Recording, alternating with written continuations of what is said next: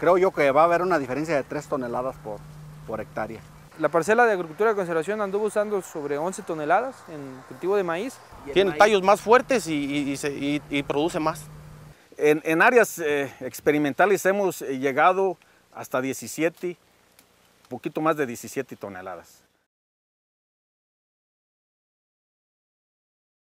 Entonces ahora con los cambios climáticos y, pues adversos que tenemos. No había agua disponible para darle el, riego. Por los altos costos del combustible, de los insumos, entonces hemos visto muy buena alternativa. Más o menos yo le calculo que, así como les digo, de que, de que luego de siete, de siete pasas de arrastra, a ser unos 3 mil, 4 mil, entre 3 mil, 4 mil pesos por hectárea.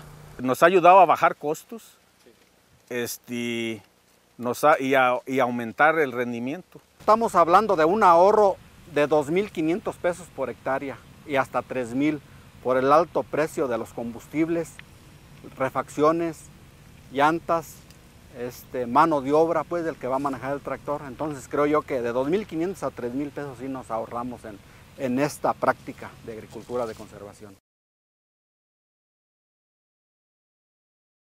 Aquí en Querétaro estamos subiendo menos fertilizante aquí con los ingenieros que están en varias partes.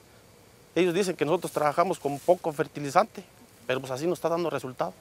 Bueno, simplemente por decir en bajar el 50% del fertilizante químico, pues allí es el, fertilizante químico pues ya va por, por mitad, ¿no? Al, 50%. Y el biofertilizante, bueno, ahora sí, eh, dependiendo, pero a lo mejor por ahí andan los paquetes sobre de unos 1.500 a 2.000 pesos. Entonces, si la nutrición normalmente la traíamos entre, por decir, 6 mil, 7 mil pesos, ahora pues la traemos este, por, al 50% más agregando lo de los biofertilizantes. Pero esto aún nos, ayuda, nos ha ayudado a aumentar el rendimiento. Estamos muy contentos porque hemos visto que se ha reducido un 90-95% las quemas aquí en nuestro, en nuestro ejido. Entonces, han visto pues que, que sí da resultados y creo yo que sí hay mucha gente interesada en, participar en agricultura de conservación con más agro.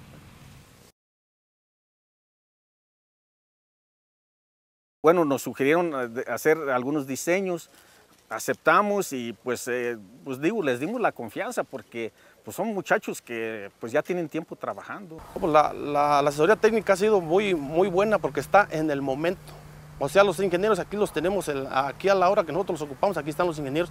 Hemos tenido varios problemas de plaga, yo otro terreno que tengo por acá, tuvimos un, problema fuerte de, gallina ciega y al momento los ingenieros se comunican uno con otro y aquí estamos al presente y le damos solución al problema. Incluimos componentes de asistencia técnica, de capacitación con los productores, de eventos de sensibilización y de mucha difusión o algo de difusión. Y esto está vinculado a la parte de investigación.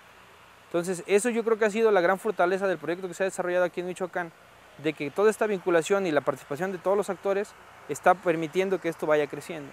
Y pues invitar a, este, a más productores que se sumen a este proyecto, este, productores de otros estados, que ustedes están viendo, da muy buenos resultados en la agricultura de conservación temporal y pues muchas gracias, les agradezco.